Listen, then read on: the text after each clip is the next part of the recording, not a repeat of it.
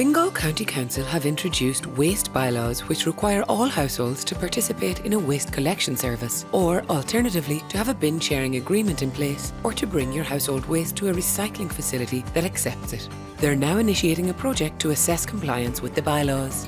Households that don't have a bin collection service will be asked how they're disposing of their waste. Breaching the bylaws can result in a 75 euro on the spot fine or a 2,500 euro fine and a criminal conviction if found guilty in court.